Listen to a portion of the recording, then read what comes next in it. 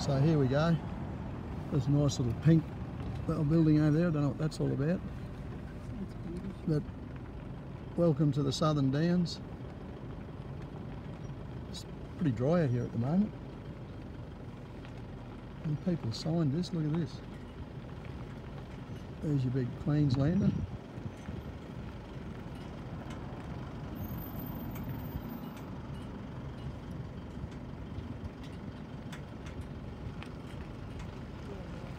Always said to Ron Tinknell, this is what he should do when we're coming into Queensland and they've done it.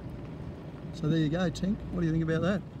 So if you have a look up there, you can see all the mountains in the background. They're all just big, massive sheets of rock.